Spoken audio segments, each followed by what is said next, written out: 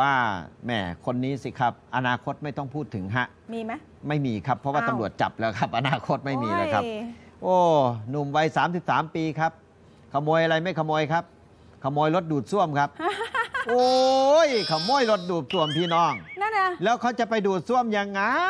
คุณพี่เอ้ยนะครับ ชายหนุ่มคนนี้แหละครับ เอาผ้าห่มพาดคอสวมเสื้อนี่แหละครับ อืม เดินไปที่รถดูดซ่วมของเทศบาลตำบลแม่แจ่ม เขาจอดไว้นะครับ ที่อู่เขาเอาไปเขาซ่อม ไปแล้ว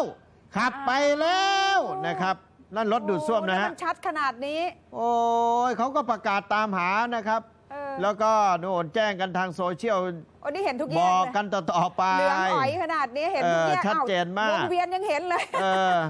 ขับไปนะครับออเขาก็ตามสิครับตามตามตามไปเออ นะฮะจนพบว่า เจ้าเอ่อชายหนุ่มคนนี้ครับ ขับรถดูดซ่วมเข้าไปที่วัดกองการนะฮะ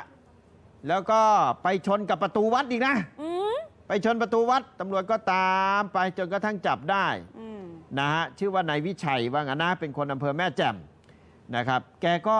บอกน่าจะเฉยเลยนะอืมบอกว่าไม่ได้ขโมยรถดูดซ่วมครับอ้าวแค่ผมยืมไปไหว้พระฮะขอพรยืมเหรอคะแล้วจะเอามาคืน